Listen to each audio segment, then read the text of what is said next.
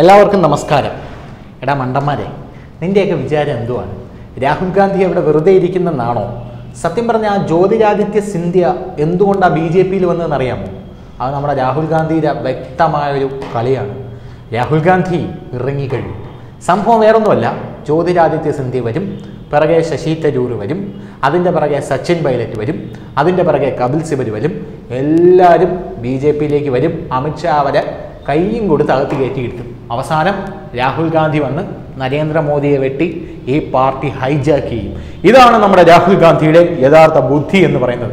എങ്ങനെയുണ്ട് എങ്ങനെയുണ്ട്? കിടിലല്ലേ കാര്യങ്ങളുടെ പോക്ക് ഇങ്ങനെയൊക്കെയാണ് നടക്കുന്നത്. അതായത് കോൺഗ്രസിൽ നിന്ന് ബി ജെ പിയിലേക്കുള്ള ഒഴുക്ക് കൂടുതൽ ശക്തമായി കൊണ്ടിരിക്കുകയാണ് എന്ന തരത്തിലുള്ള ഓരോ റിപ്പോർട്ടുകളാണ് പുറത്തു വന്നുകൊണ്ടിരിക്കുന്നത്. ഇപ്പോൾ C A A N R C അതായത് പൗരത്വ നിയമ ഭേദഗതിയെയും പൗരത്വ രജിസ്റ്ററിനെയും ശക്തിയുക്തം എതിർത്തുകൊണ്ടിരുന്ന പല കോൺഗ്രസ്സുകാരും ഇതിനെ പിന്തുണയ്ക്കുന്ന ഒരു അവസ്ഥയാണ് നിലവിലുള്ളത്. അവസാനം എല്ലാവർക്കും സത്യം പറയേണ്ടി വന്നു. സി എ എ ആരുടെ പൗരത്വം എടുത്ത് കളയാനല്ല എന്ന് അന്ന് മുതൽ തലേ കൈവച്ച് പല ആൾക്കാരും പറയുന്നുണ്ട്. ഇത് കേൾക്കാനുള്ള ഒരു മനസ്ഥിതിയില്ല. നരേന്ദ്രമോദിയെ ഇപ്പം തെങ്ങിൽ നിന്ന് തേങ്ങ അടത്തിടും പോലെ താഴെ ഇറക്കി കളയാം എന്നാണ് പലരും വിചാരിച്ചത്. പക്ഷെ ഒന്നും ഒത്തില്ല. അവസാന നിമിഷം ഉള്ളതും കൂടെ പോകുമെന്നായപ്പോൾ യഥാർത്ഥത്തിൽ ഇത് ആരുടെയും പൗരത്വം എടുത്ത് കളയാനുള്ളതൊന്നും അല്ല കേട്ടോ. ചെറിയൊരു ശരിയൊക്കെ അതിനകത്തുണ്ട് എന്നൊക്കെ പലരും പറയുന്ന ഒരു അവസ്ഥയാണുള്ളത്. ഇപ്പൊ അവസാനമായിട്ട് കോൺഗ്രസ് ഞെട്ടിത്തരിച്ച് നിൽക്കുന്നത്. ജ്യോതിരാദിത്യ സിന്ധ്യ പോയപ്പോൾ കോൺഗ്രസ് ഞെട്ടി പണ്ടാതെ തുടങ്ങിയതാണ്. എപ്പോഴും എപ്പോഴും ഞെട്ടാൻ കോൺഗ്രസിന് വട്ടൊന്നുമില്ല. അത് വേറെ കാര്യമാണ്. പക്ഷേ ഇതൊരു ഒന്നൊന്നര ചെയ്റ്റായിപ്പോയി അതായത് കപിൽ സിബൽ കോൺഗ്രസിന്റെ മുതിർന്ന നേതാവും സുപ്രീം കോടതി അഭിഭാഷകനുമായ കപിൽ സിബൽ രാജ്യസഭയിൽ എമ്മാതിരി ചെയ്ത്താണ് കോൺഗ്രസിനോട് ചെയ്തു കളഞ്ഞത്.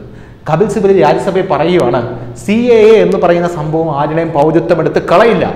ഒരു നിമിഷം കോൺഗ്രസ്സുകാരും രാജ്യസഭയും എല്ലാം ഒന്ന് നിശബ്ദമായി. എന്നിട്ടൊന്ന് നുള്ളി നോക്കി. സത്യമായിട്ടും ഇത് കപിൽ സിബൽ തന്നെയാണോ ഈ പറയുന്നത് എന്നുള്ള ഒരു ചോദ്യമാണ് പിന്നെ രാജ്യസഭയിൽ നിന്ന് ഉയർന്നു വന്നത്. കപിൽ സിബൽ ഇത് പറഞ്ഞു കഴിഞ്ഞ ശേഷം കപിൽ സിബിൽ തന്നെ രണ്ട് മിനിറ്റ് തന്നോട് ബഹുമാനം തോന്നി എണീറ്റ് മിണ്ടാതെ നിന്നു എന്നൊക്കെയാണ് കേൾക്കുന്നത്. എന്തായിരുന്നാലും ഈ സംഭവം യഥാർത്ഥത്തിൽ ഡൽഹി കലാപത്തിനെ കുറിച്ച് ചർച്ച ചെയ്തുകൊണ്ടിരുന്നപ്പോഴാണ് കപിൽ സിബൽ ഇക്കാര്യം പറയുന്നത്. ചർച്ച ചെയ്ത് ചെയ്ത് ചെയ്ത് ചെയ്ത് ചെയ്ത് പൗരത്വ നിയമ ഭേദഗതിയിലോട്ട് എങ്ങനെയോ വഴുതി വീഴുകയും അതുവഴി കപിൽ സിബൽ ആരുടെയും പൗരത്വം എടുത്ത് കളയില്ലല്ലോ. പിന്നെ എങ്ങനെ ഡൽഹി കലാപം ഉണ്ടായി എന്നുള്ള രീതിയിൽ കപിൽ സിബൽ അങ്ങ് ചോദിച്ചപ്പോൾ ബി ജെ പിക്കാർക്ക് ഇത് വലിയൊരു ആയുധമായി മാറുകയായിരുന്നു. കപിൽ സിബൽ വരെ സത്യം പറഞ്ഞു എന്നാണ് ബി ജെ പി നേതാക്കൾ ഇപ്പോൾ പറയുന്നത്. ഈ കപിൽ സിബൽ ആരാണെന്ന് അറിയാമോ അറിഞ്ഞൂടെങ്കിൽ പറഞ്ഞു തരാം. അതായത് പൗരത്വ നിയമ ഭേദഗതിക്കെതിരെ കോൺഗ്രസ്സുകാർ സുപ്രീം കോടതിയിൽ വാദിക്കാൻ വിട്ട അഭിഭാഷകനാണ് ഈ കപിൽ സിബൽ എന്ന് പറയുന്നത്. അതായത് സുപ്രീം കോടതി ചെന്ന് പൗരത്വ നിയമ ഭേദഗതി എല്ലാവരുടെയും പൗരത്വം എടുത്ത് കളയുമെന്ന് പറയും. രാജ്യസഭയിൽ വന്ന് ഇതിൽ ഒരു കുഴപ്പമില്ല എന്ന് പറയുന്ന ഡബിൾ സ്റ്റാൻഡേർഡ് എടുക്കുന്ന ഒരു നേതാവാണ് കപിൽ സിബൽ എന്ന് ഇതോടുകൂടി മനസ്സിലായിരിക്കുകയാണ്. സത്യം പറഞ്ഞുണ്ടല്ലോ ഇതൊക്കെ എടുത്ത് ഉള്ളത്തള്ളേണ്ട കേസാണ്. രാജ്യത്ത് കലാപം ഉണ്ടാക്കാൻ രണ്ട് സ്റ്റാൻഡ് എടുത്ത് ജനങ്ങളെ തെറ്റിദ്ധരിപ്പിക്കുന്ന ഈ സംഭവങ്ങളൊക്കെ ചെയ്യുന്നത്. എന്തായിരുന്നാലും കോൺഗ്രസിന് കണ്ടകശനിയാണ് എന്നുള്ളത് പറയാതെ വയ്യ. ജ്യോതിരാദിത്യ സിന്ധ്യ പോയ നെട്ടലിൽ നിൽക്കുമ്പോഴാണ് കോൺഗ്രസ് ഇപ്പോൾ കപിൽ സിബലിന്റെ ഈ ഒരു പ്രസ്താവന കൂടെ ഇങ്ങനെ വന്നിരിക്കുന്നത് എന്നുള്ളതാണ് വസ്തുത. നേരത്തെയും പൗരത്വ നിയമ ഭേദഗതിയെ പരോക്ഷമായി പിന്തുണച്ച് കപിൽ സിബലിന്റെ ഭാഗത്തു നിന്നും പല പ്രതികരണങ്ങളും ഉണ്ടായിട്ടുണ്ട്.